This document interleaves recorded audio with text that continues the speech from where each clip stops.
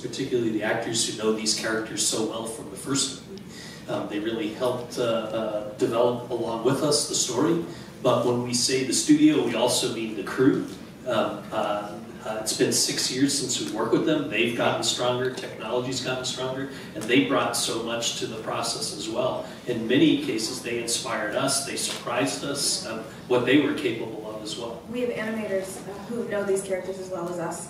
Um, we, I mean, it, what's a very interesting thing about Disney animation in particular, it's hundreds of artists together from film to film. We get to know each other, we see each other's strengths, but they are artists. So, um, you know, some draw, some some animate, some technical, but it, that combination, um, you and you'll see they people will rise up with a vision that is just incredible and you want to support it. And that's that's something that Walt started and it's something that we continue to do.